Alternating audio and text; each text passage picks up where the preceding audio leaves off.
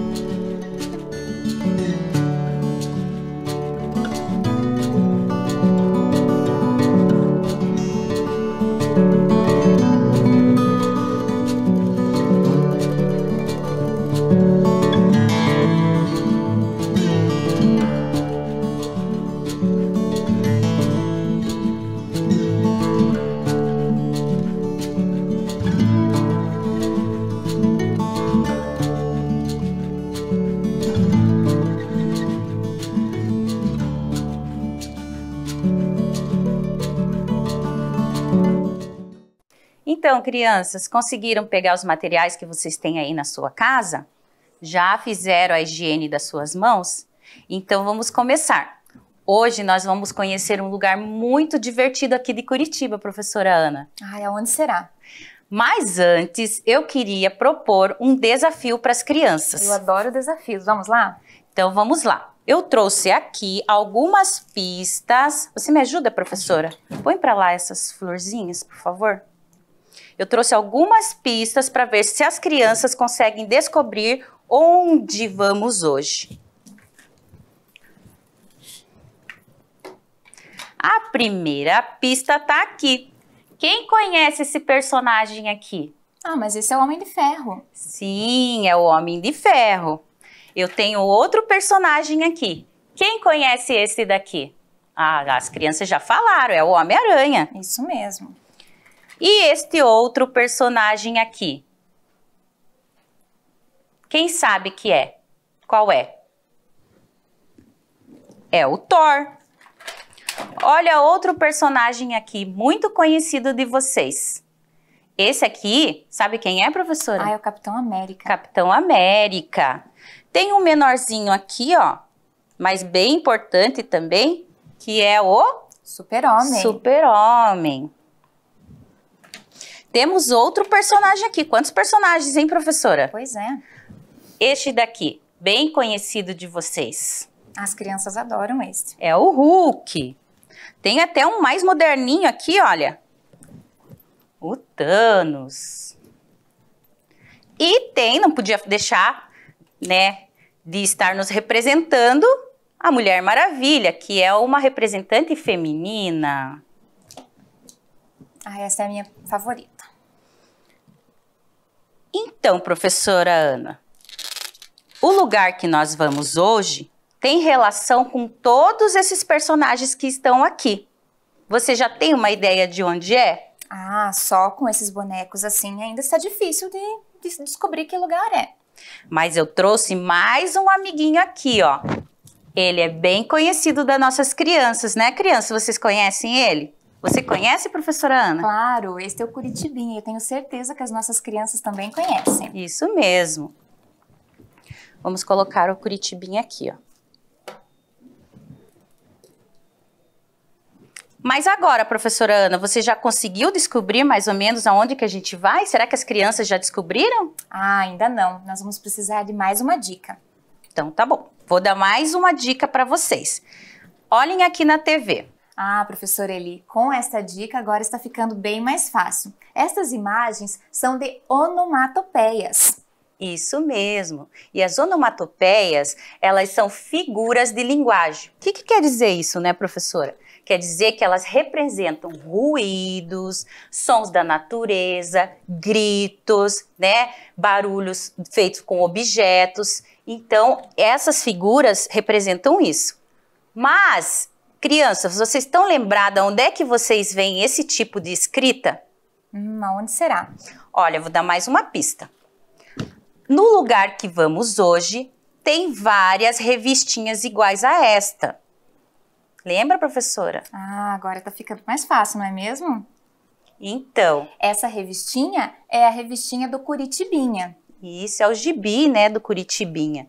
Então, mas você já conseguiu descobrir, professora? Hum, acho que sim. Vamos é, lá? será que ela, será que ela descobriu mesmo? Eu gostaria de mais uma dica para eu ter certeza. Ah, mas agora essa dica vai ficar muito fácil, elas vocês vão descobrir com certeza. Ah, bem que você disse que esse era o gibi do Curitibinha. Então, o lugar que nós vamos conhecer hoje é a Gibiteca de Curitiba. Isso, tem até mais uma imagem ali, ó, professora. Olha que bonito que o local. Lindo, né? Uhum. Que interessante, professora Eli. Então, todos esses personagens que você trouxe aqui pra gente, nós podemos encontrar lá na Gibiteca? Sim, estes e muitos outros.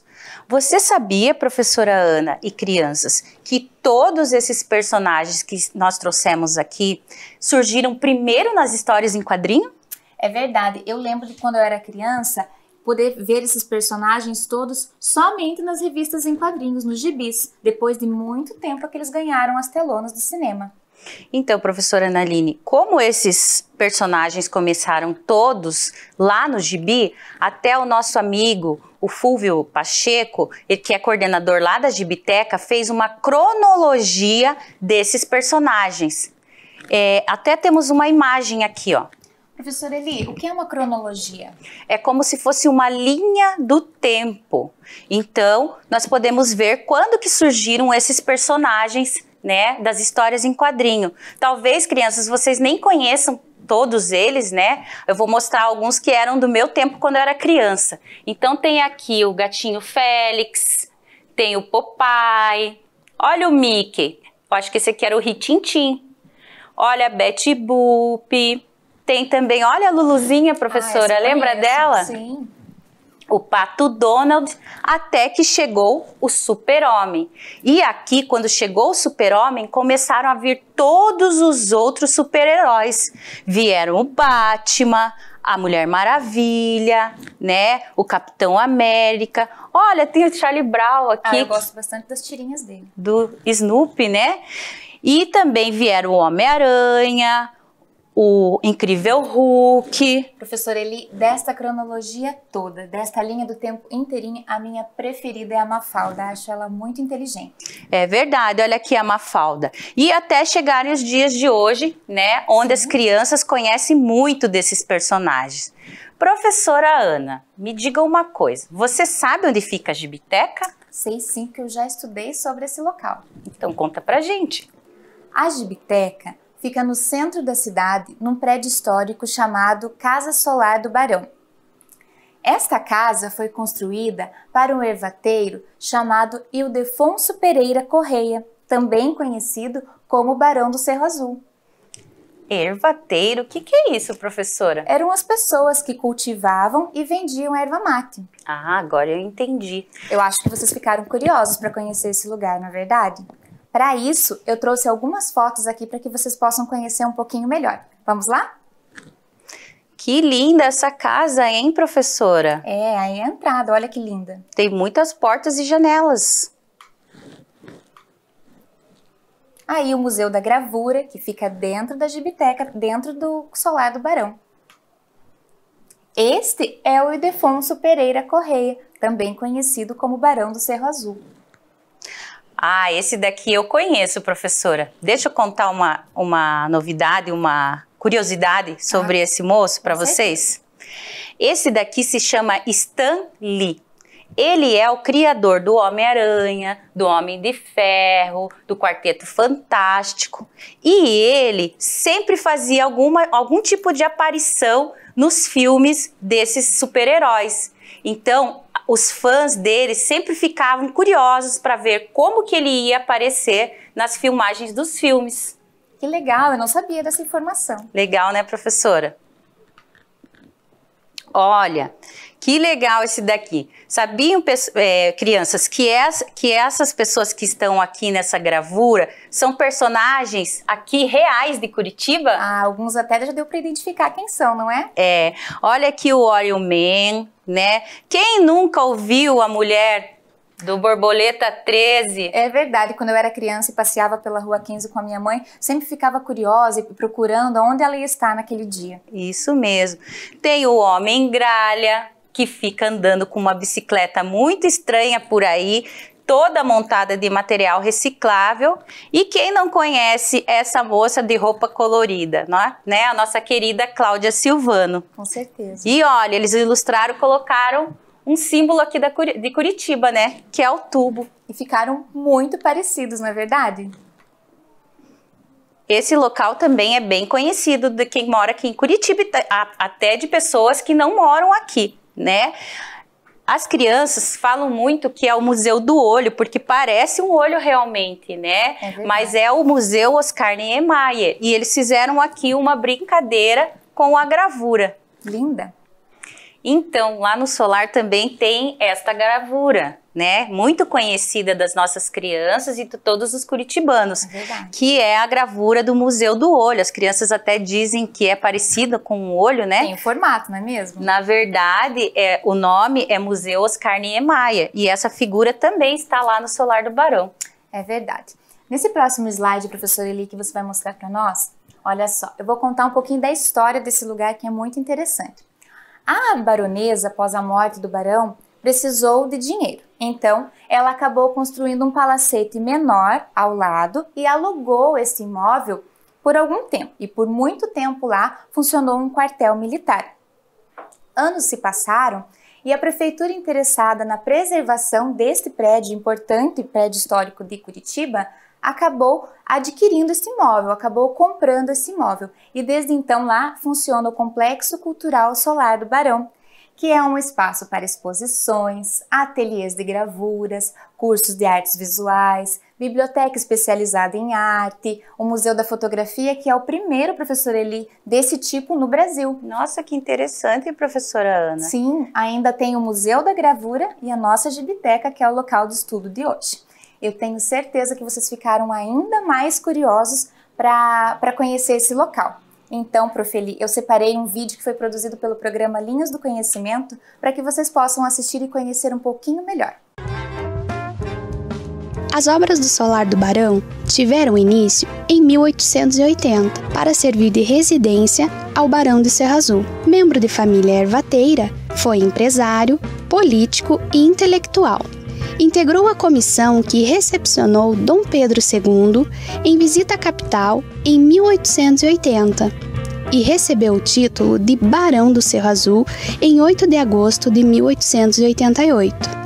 mas infelizmente, em 1894, morreu tragicamente na Serra do Mar. Após a trágica morte do seu esposo, a baronesa adoeceu e, para garantir seus rendimentos, construiu uma casa menor como sua residência, e o solar do barão passou a ser alugado. Ambos os imóveis pertenceram à baronesa até 1912, quando o imóvel passou para o exército. O Exército Nacional ocupou o imóvel de 1912 a 1975, ano em que o edifício foi adquirido pela Prefeitura Municipal de Curitiba, que tinha o interesse em sua preservação. E em novembro de 1980, o Complexo Cultural Solar do Barão foi inaugurado. O Solar do Barão é um espaço que conta com salas de exposições, ateliês de gravura, curso de artes visuais para crianças e adultos, uma loja de gravura que coloca à venda obras de artes feitas nas diversas técnicas de gravura, o Centro de Documentação e Pesquisa Guido Viário, uma biblioteca especializada em artes. No Complexo Cultural Solar do Barão, encontram-se importantes unidades da Fundação Cultural de Curitiba, como o Museu da Fotografia, inaugurado em 1998, o primeiro do gênero no Brasil, o Museu da Gravura, inaugurado em 1989, e a Gibiteca, um local para os amantes dos quadrinhos, que dispõe de mais de 25 mil títulos. O Solar do Barão funciona de terça a domingo, das 9 às 18 horas. Que vídeo legal, hein, professora? É verdade, não é mesmo? Quer dizer, então, que é por isso que a Gibiteca está localizada nesse prédio né? Porque ela preserva a história das histórias em quadrinhos. Isso mesmo, porque a, o Solar do Barão faz parte da história da nossa cidade. Sabia, professora Ana e crianças, que aqui em Curitiba existem várias casas iguais a essa que preservam a história de Curitiba? É verdade. Mas como a gente está falando da Gibiteca hoje, eu também trouxe um vídeo, um vídeo para as crianças assistirem e conhecerem um pouquinho mais da Gibiteca. Dentro do Centro Cultural Solar do Barão, encontramos a Gibiteca de Curitiba, com seu acervo de mais de 30 mil títulos. Criada em 1982, teve como seu primeiro endereço uma das salas da Galeria Schaffer, mudando em 1988 para o Solar do Barão. Seu espaço reúne ilustradores, designers, artistas plásticos, pesquisadores, professores, estudantes e os amantes dos quadrinhos. Em seu acervo, podemos encontrar gibis infantis, heróis, humor, terror, cartoons, fanzines, mangás e exemplares estrangeiros. Além das consultas, o espaço oferece cursos, oficinas de criação, exposições, palestras, lançamentos e encontros de RPG. Nomes como Laerte, Angeli, Glauco, Luiz, G já passaram pela Gibitec trocando informações com a nova geração de cartunistas. A Gibiteca hoje em dia é um importante espaço para pesquisas. Em seu acervo, encontramos algumas raridades, como exemplares da revista Gibi, primeiras edições de Tico Tico e o Globo Juvenil, as primeiras edições nacionais de Batman e o Capitão América, da década de 1950, além de uma coleção completa do Pasquim. Gostou do vídeo, professora? Ah, eu adorei. Achei esse vídeo muito interessante. E as crianças gostaram? Ah, eu aposto que sim. Sabia, professora Ana, que lá na Gibiteca tem mais de 35 mil títulos de todos os gêneros de gibis? É muito gibi. É muito gibi.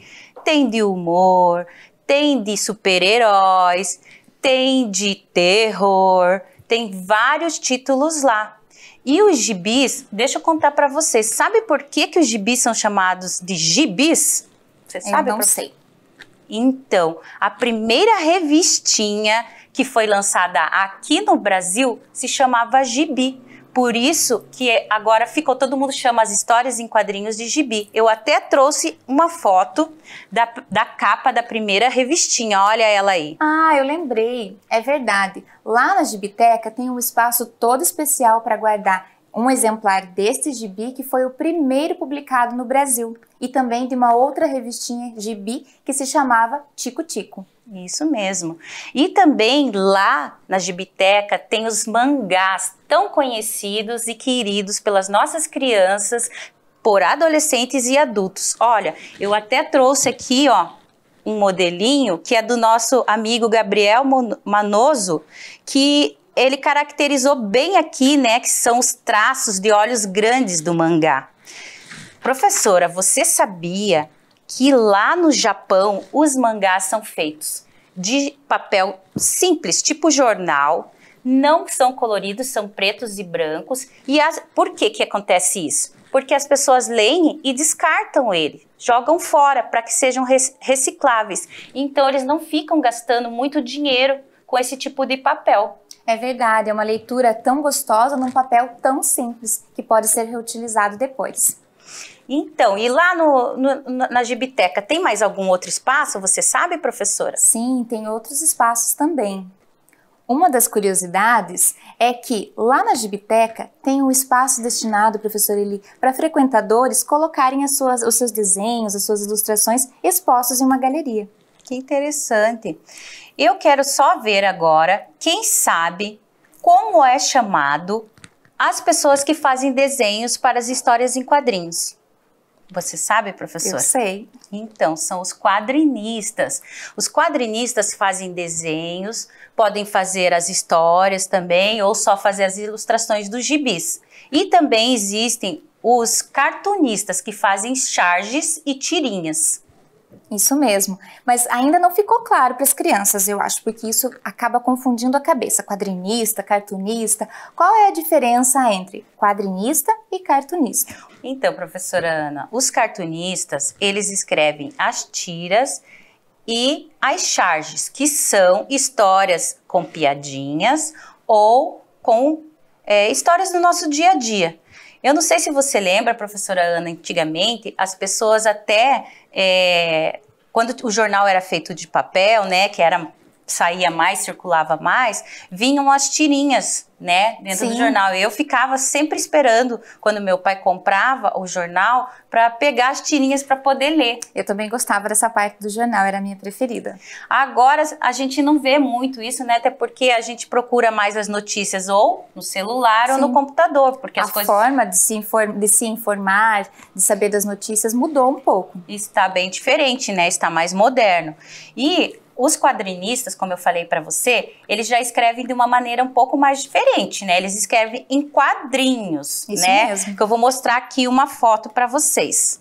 Então, os quadrinistas, eles usam os balões, né, para fazer as falas e os sentimentos das pessoas que estão é, sendo relatadas ali na história, e usam quadrinhos, como a, como o próprio nome da, diz, né? Sim. Histórias em quadrinhos, e também usam as onomatopeias, que são aqueles é, é, linguagens, né? As figuras de linguagem Figu que nós falamos lá no início Isso, da aula. Isso, as figuras de linguagem. Então, é assim que são feitas as histórias em quadrinho. Já as charges de tirinha geralmente são feitas em três quadrinhos. Eu até trouxe aqui uma tirinha do nosso amigo Fúvio Pacheco, que é o coordenador lá da Gibiteca, né? E além de coordenador, ele é quadrinista, cartunista, e ele fez uma tirinha e vou mostrar para vocês.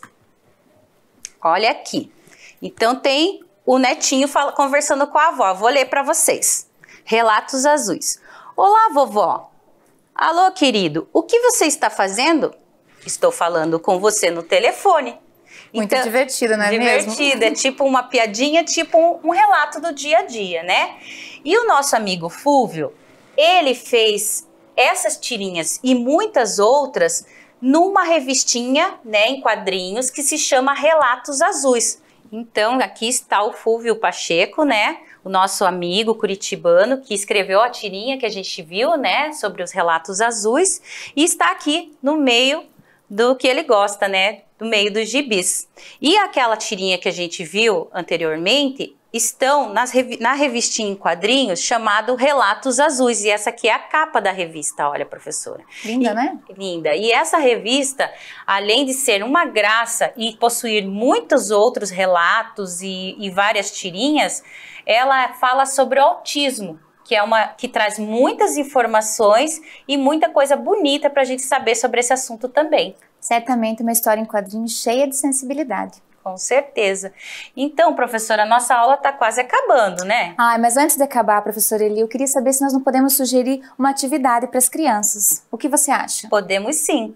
Então, crianças, agora que nós aprendemos muitas coisas, é né? Muitas curiosidades sobre a Gibiteca, a nossa proposta de atividade é que vocês criem uma tirinha, que são aquelas histórias em quadrinhos com menos quadrinhos. Então, nós vamos fazer a nossa aqui, vocês podem fazer com o material de vocês, e daqui a pouquinho a gente vai voltar para mostrar como ficou o nosso. Mas não se preocupe, se não der tempo de vocês terminarem, a gente, vocês podem terminar depois da aula, ok?